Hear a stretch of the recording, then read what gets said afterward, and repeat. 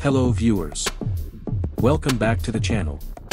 If you are watching this video without subscribe us, please click the subscribe button and hit the bell icon to get instant notification. Now move on to the video. In this video you are going to see about, freaky fluorescent frog. Let's go to the show.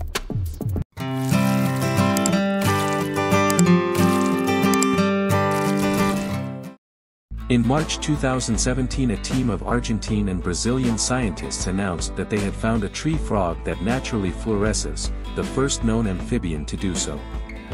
The polka dot tree frog, Hypsiboas punctatus, is a small frog about 3 centimeters or 1.2 inches in length that lives in the Amazon basin.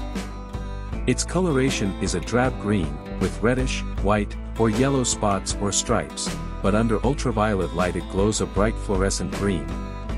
In fluorescence, light is absorbed and then re-emitted. Many sea creatures fluoresce, but among land animals, only some parrots and scorpions do this.